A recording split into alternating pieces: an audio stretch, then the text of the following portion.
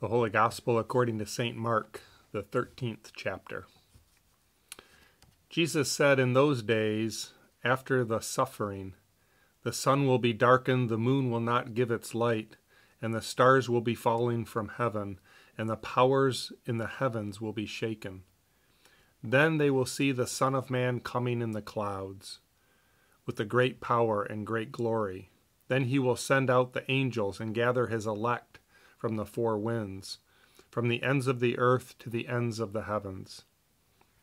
From the fig tree, learn its lesson.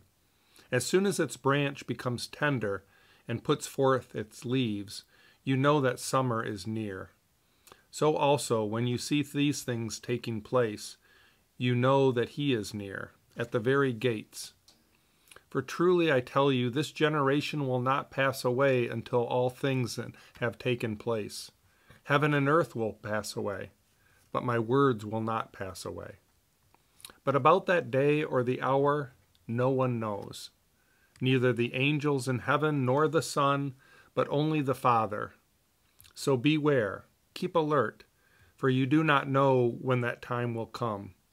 It is like a man who is going on a journey, when he leaves home and puts his slaves in charge, each with his work and commands the doorkeeper to keep at watch.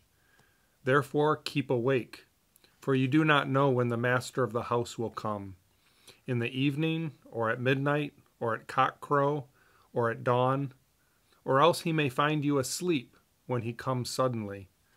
And what I say to you, I say to all stay awake. The Gospel of the Lord.